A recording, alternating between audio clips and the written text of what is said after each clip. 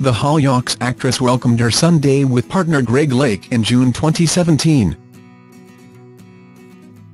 Since then Jennifer has shed three dress sizes and was happy to show off her post-baby while on holiday.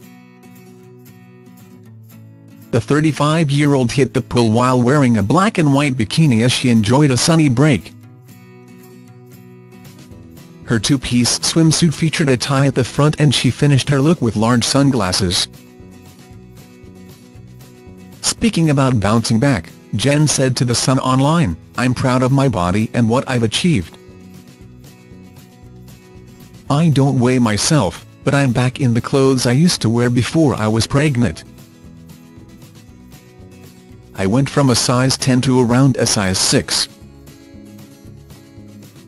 After giving birth to her little one, Jennifer shared a snap of her figure saying what had changed since her pregnancy. The boobs have finally settled down after breastfeeding they swelled beyond belief, going from a modest B to a never-seen-before F, Lefty must have been at least a G. They were lumpy, absolutely wrecked and my once little brown nips had trebled in size. I couldn't wait to see after all this, what they were gonna look like. These are more than okay, I fed a human with them, they are awesome.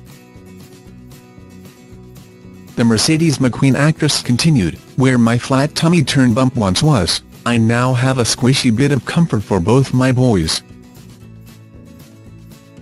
Lil Man uses it to bounce off to relieve his wind and Greg's gone from babysitting him in my tummy to holding the squidgy whilst he sleeps, usually not for long, me all cozy under the arm.